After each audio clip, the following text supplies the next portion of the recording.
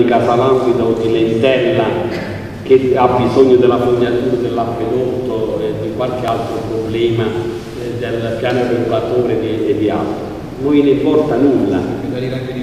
E anche di Vasto, ma io sto facendo l'esempio per dire che insomma, già Vasto forse conta della, della cosa, perché c'è una maggiore attenzione ha 30.000 abitanti, ma pensate alla miriade dei piccoli comuni, insomma, non li pensa più nessuno, non hanno nessun contatto questo è la, il, il, il, problema principe di cosa, ecco perché la legge elettorale è importante per riportare quell'attenzione tra territori eletti e elettori, è un discorso di democrazia, di rappresentanza e soprattutto è la soluzione a tanti problemi, perché se chi ci governa, ci amministra, vive il territorio, la domenica viene tra di noi a stringere la mano, a parlare dei problemi, ad ascoltare, a colloquiare, a confrontarsi, incontri, convegni, eccetera.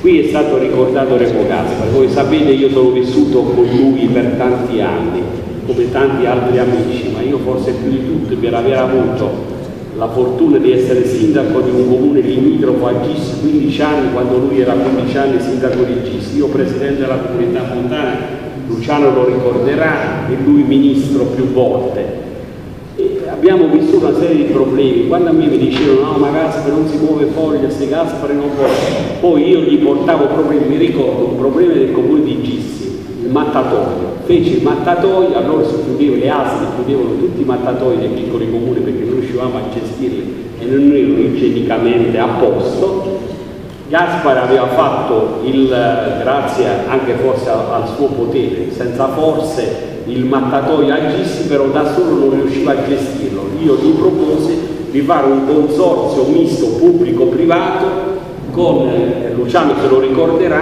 con la comunità montana facevo questo e gli risolvevo il problema, mi ascoltò, eh, tanto per, essere, per dire come si risolvevano, si affrontavano si risolvevano i problemi.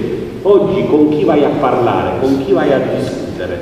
Ma chi conosce l'Apennino, Aracu o De Angelis, De Angelis. De Angelis e tanti altri personaggi che girano? Cioè io veramente una cosa, allora come si fa a non parlare della crisi? C'è la crisi dei partiti, bisogna tornare, mi fa piacere, Tito l'ha detto, lo pare Enrico, che il professore universitario diceva che... Eh, Federico lo dice eh? Federica lo dice che bisogna tornare alle sezioni, all'organizzazione.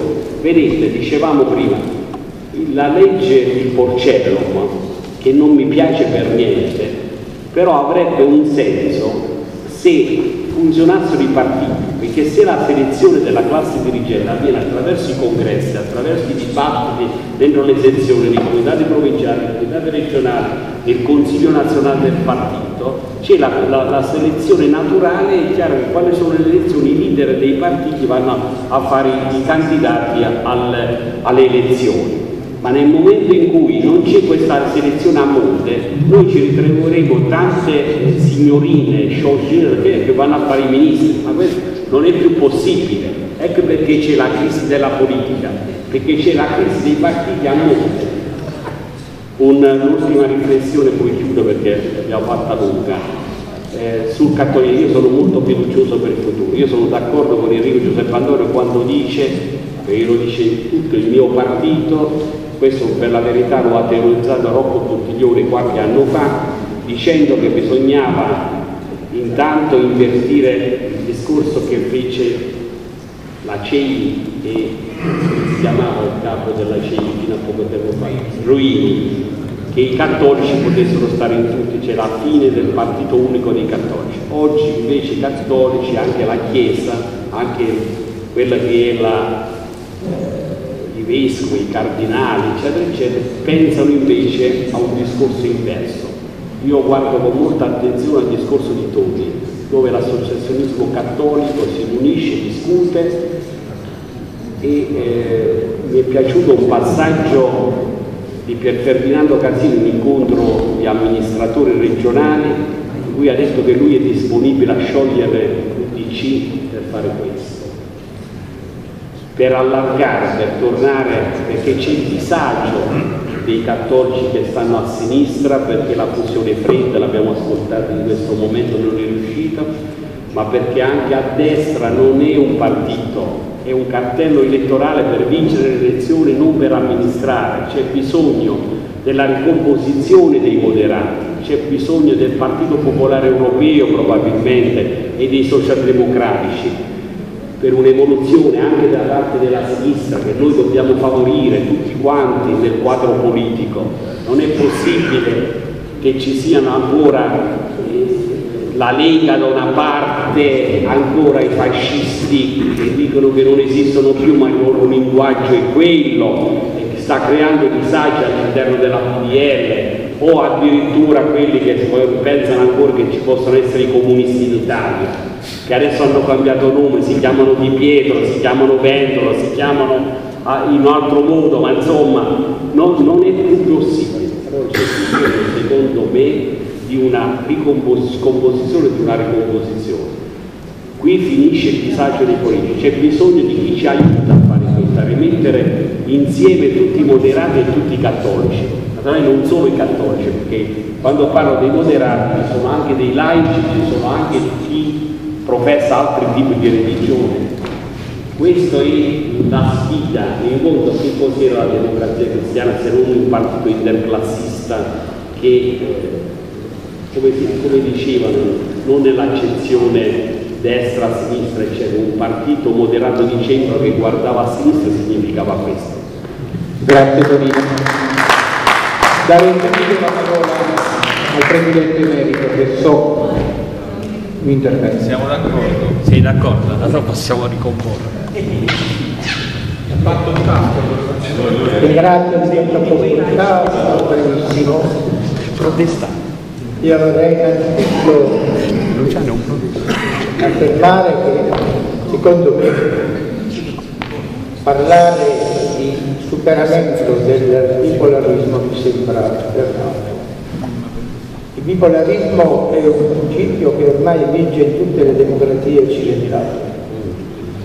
Attualmente che io conosco ci sono solo due paesi che non lo praticano, sono il Belgio e l'Olanda. Il Belgio sono due anni che non ha un governo, l'Olanda dice che si arrabatta per fare un governo. Non si può superare il bipolarismo. Il bipolarismo non vuol dire bipartitismo. Non significa che non ci possa essere una pluralità, pluralità di partiti.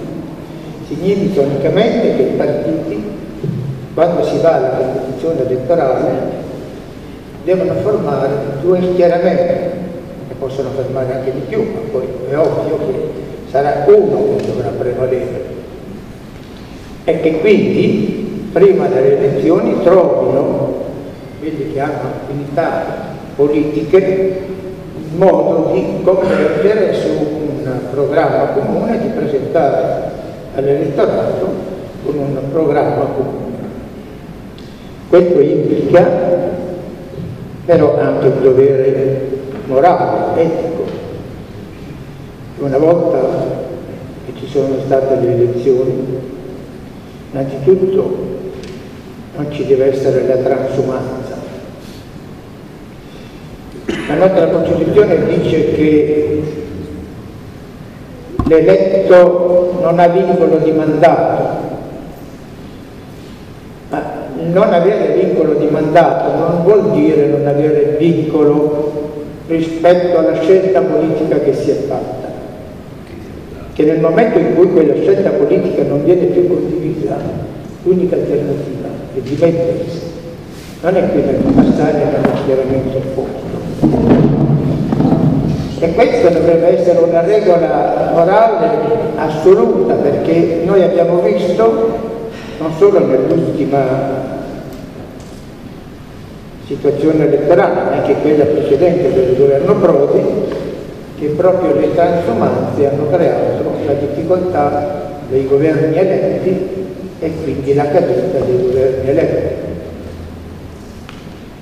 Fatta questa premessa, siccome il tema è su questo che io mi volevo un attimo concentrare, che ci è stato dato riguarda il disagio dei cattolici nell'attuale situazione, ci dobbiamo domandare come i cattolici oggi si pongono rispetto a questi principi e rispetto alla situazione politica attuale.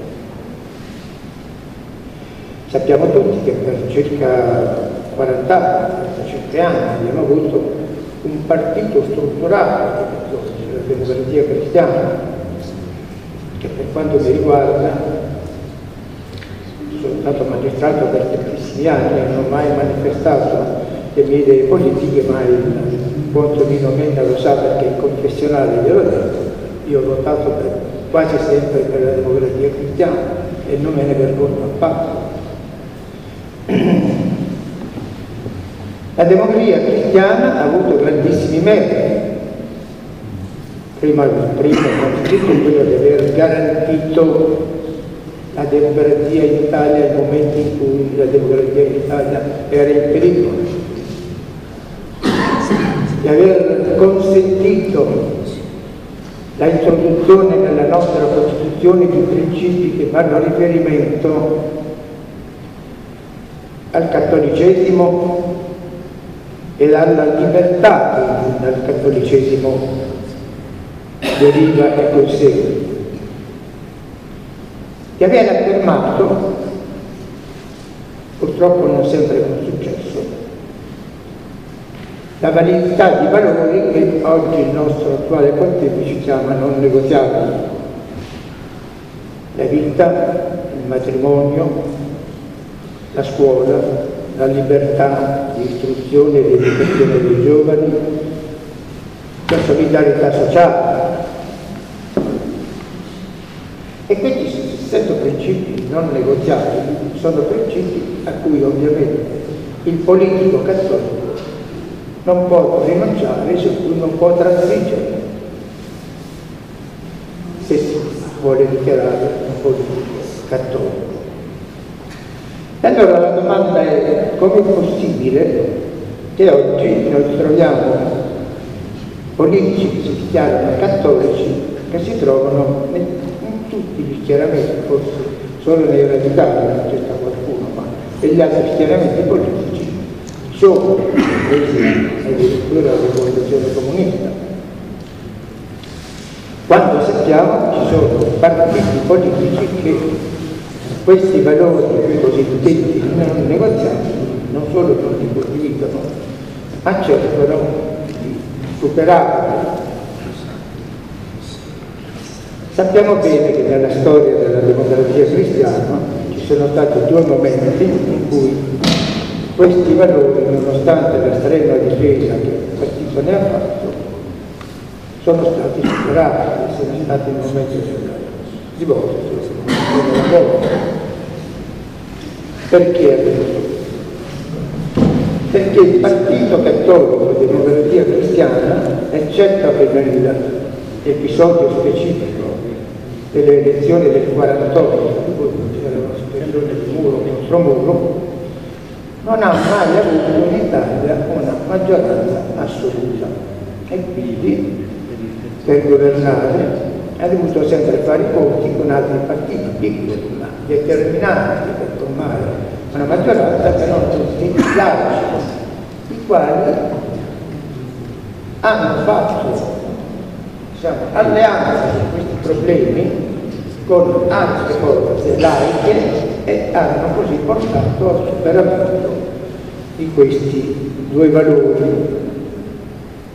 Questo lo dico non perché voglio rivendicare la giustezza o l'erroneità di quelle scelte, cui non mi permetto di emettere giudizio, ma per dire che oggi l'idea di ricostituire il Partito Cattolico Unico Secondo me è un'idea bella, ma un po' utopica, forse non vincente, perché comunque non sarebbe mai in grado da sola questa forza politica di avere una maggioranza nel nostro Parlamento. Avrebbe certamente una forte presenza e una forte capacità di incidere, ma dovrebbe sempre fare i conti con altre, altre forze. E certamente però oggi non un fatto positivo la diaspora che cattolici in tutti i partiti. Chiamiamo anche dell'arco costituzionale, lo chiamiamo come vogliamo. Che vanno dall'estrema destra, al PDL, senza Lega, naturalmente, fino all'estrema sinistra. C'è un partito, quello dell'UDC, che si richiama diciamo, formalmente quello dei cattolici e che si reclama diciamo, il diritto ereditario della defunta democrazia cristiana. È un partito che oggi ha una consistenza contenuta, che ha l'aspirazione legittima di espandersi, di diventare più grande, ma secondo me dovrebbe avere l'aspirazione di aggregarsi con altre forze politiche che si richiamano ai principi cattolici. Perché solo così è in grado, come è stato in grado in moltissime occasioni, di incidere nella politica italiana. Oggi questa separazione, questa separatezza dei cattolici nell'ambito politico pesa, pesa e religiosa, religiosa perché al di là dei grossi problemi economici che oggi abbiamo, che comportano altri problemi, questa separatezza può comportare il successo di altri superamenti dei valori non negoziati. Stiamo attenti. Se vogliamo veramente essere difensori, tutori dei valori negoziati, Dobbiamo essere uniti nella difesa, non possiamo essere separati. E questo è il messaggio che vi lascio e secondo me su questo i cattolici che vogliono fare politica sono chiamati a riflettere e ad operare. Prima di fare una sintesi velocissima, se c'è qualche altro intervento. Professor Luigi Muro.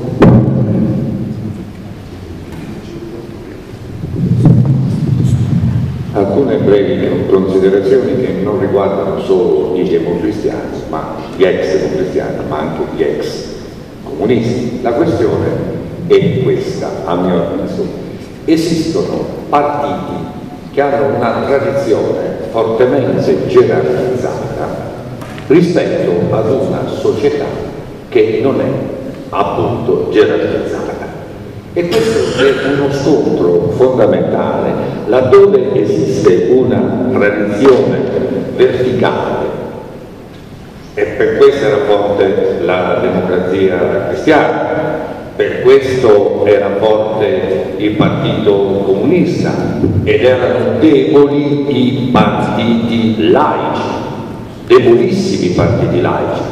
Perché? Perché di fronte agli antichi organismi, ecco, ai tempi di Spataro, come ricordava Peppino, che cosa succedeva?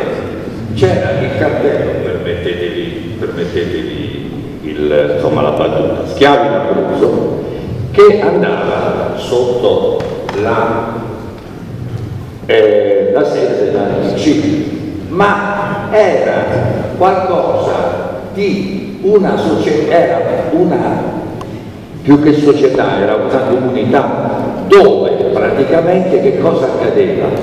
Che chi stava sopra veramente controllava chi stava sopra e questa società aveva dei partiti che rispondevano a questa esigenza, ma di fronte ad una società dove il divorzio è all'ordine del giorno, è chiaro che è difficile mantenere un rapporto è una società troppo liquida per presentare dei partiti fortemente gerarchizzati che decidono a Roma e che poi mandano dei soggetti sconosciuti a tutti.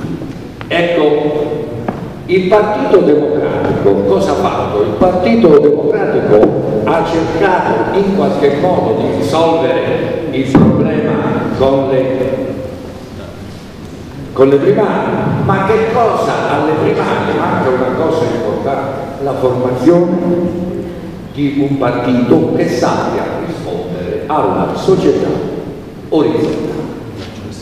Questo è punto.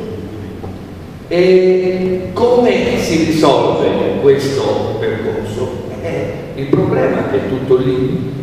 I sistemi elettorali sono figli di questa difficoltà, sono assolutamente figli di questa incapacità di saper gerarchizzare e, oppure di saper operare sulla orizzontalità. E il problema è solo qui, perché chi è stato orizzontale, Lucio Magri, è dovuto andare in Svizzera. Allora il problema, il problema di fondo è questo. Sono, i sono in grado i partiti oggi di avere questo appeal? Problema. È impossibile. Qualcuno, non mi ricordo chi, molto opportunamente parlava di motivazione. Dove sono? Quali sono i cattolici? Dove sono? Gli altri dove sono? Ecco, il punto fondamentale è proprio questo. Manca la motivazione. E che cosa facciamo? È mai possibile che un partito di 700-800 persone riesce a bloccare una amministrazione?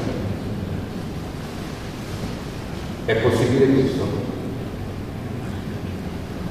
Ecco, allora è qua che bisogna riflettere. Come si riesce ad avere, come, come un partito gerarchizzato riesce a fare i conti con questa diversità? Io non lo so come, che se avessimo le ricette saremmo felici, ma una cosa è certa, eh, D'Alfonso, prima di essere un politico, penso che fosse una persona in grado di stare tra la gente. Ciò che manca è questo. Ciò che manca è questo. So, sono persone che non sono in grado di stare tra la gente e o pensano all'amministrazione o pensano a fare politica. Ma un soggetto capace di rispondere a entrambi i motivi manca. Vogliamo forse pensare che la cosa importante è essere stare tra la gente, cioè non è andare tra la gente e stringere le mani, questa è una cosa che sanno fare tutti,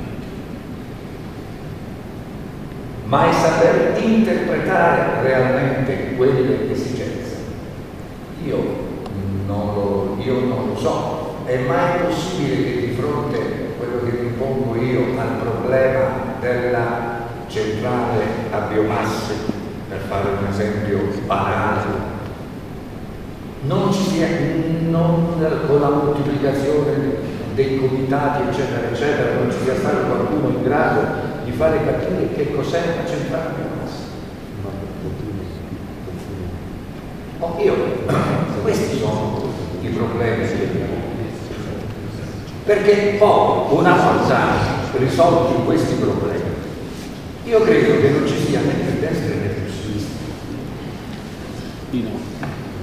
Perché la cosa importante è affrontare il problema.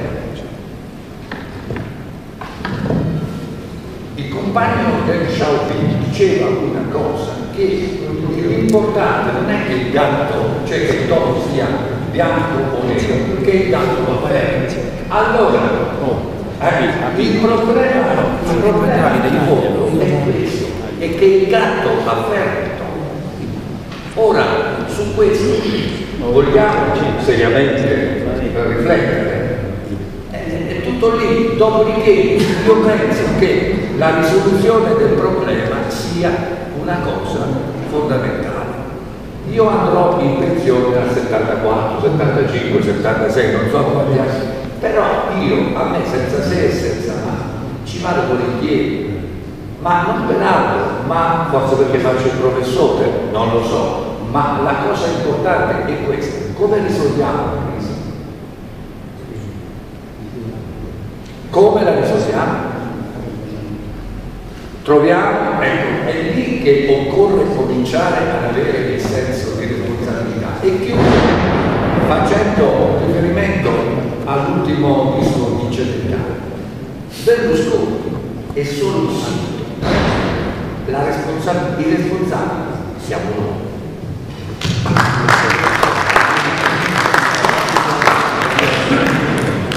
Solo due riflessioni prima, prima di chiudere.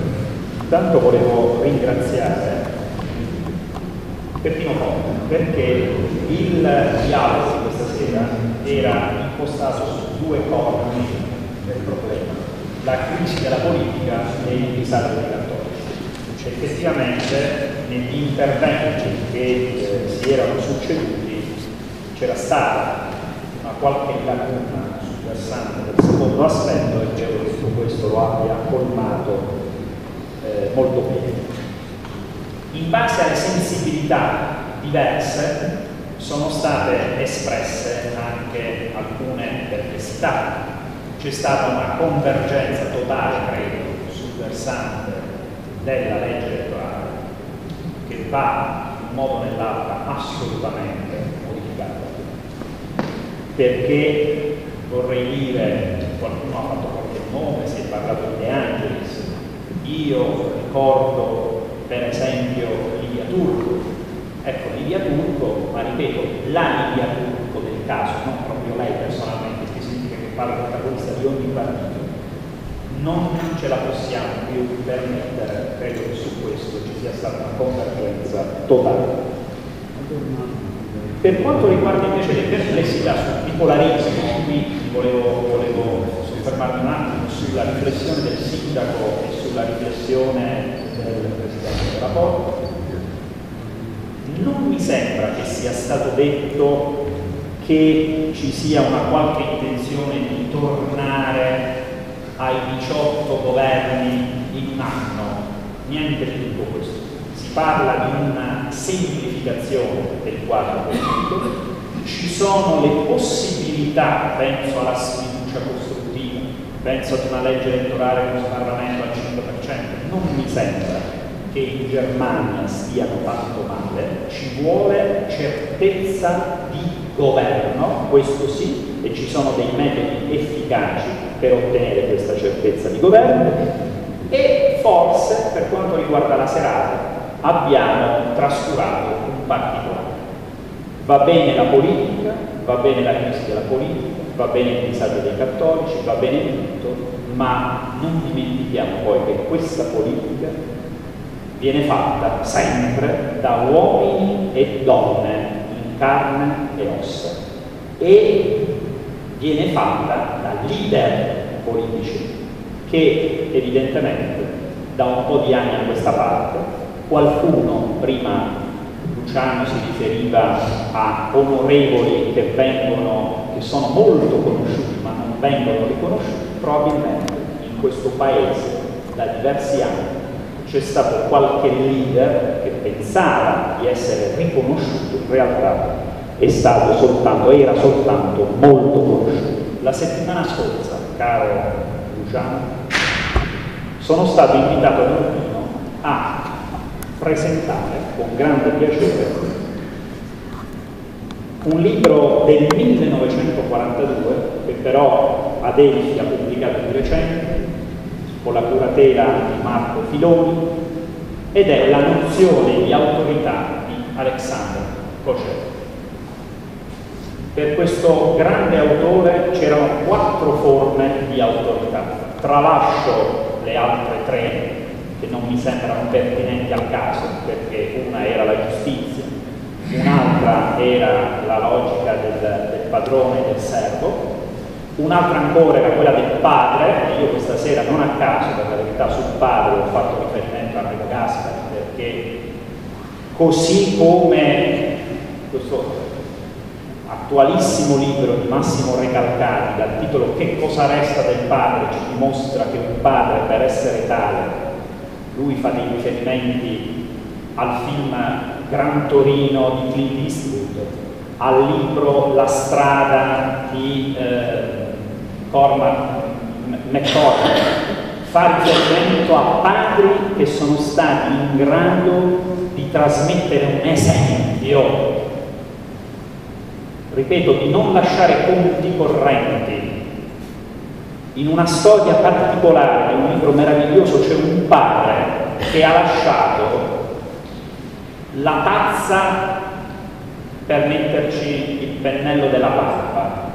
E per il figlio quella tazza da dove prendere tutte le mattine il pennello e guardare allo specchio ricorda questo personaggio che ogni qualvolta faceva questo gesto al mattino ritrovava il volto del padre, questo per dire come è possibile legare le generazioni anche attraverso una tazza, ma di quelle forme di autorità, quella che più si addice alla serata è quella del capo, ma non il capo inteso come dittatore, il capo, lasciatemi passare, inteso come direttore d'orchestra. Il direttore d'orchestra conosce lo spartito, rima in meglio degli orchestrali e sa soprattutto dove dirigere, dove portare gli orchestrali, dove condurre la sinfonia. È dotato, scrive Coger, di una sorta di prescienza, cioè conosce gli atti non del presente ma del futuro. C'era un alto prelato a quella, che partecipava a quella serata, mi ha detto, caro giovane, in questo momento, non solo a Roma, ma in ogni singolo paese di questa bellissima Italia, manca il sogno, ma non il sogno berlusconiano. Veniamo a noi, manca il ponte del mare, tanto per fare un esempio manca qualcosa che si possa toccare con mano. Quella è la realizzazione, quella è la sinfonia, però quella sinfonia senza il direttore d'orchestra evidentemente non può essere eseguita. Per molto tempo in questo paese la parola leadership e ancora di più la parola leader ha sempre fatto spaventare ma sono termini che devono essere coniugati con la politica, con la sana politica, perché ormai la democrazia penso che sia piuttosto salda in questo Paese e allora non dobbiamo aver paura di chi riesce ad assumere responsabilmente con determinazione le decisioni. Grazie. Grazie a tutti, al prossimo appuntamento.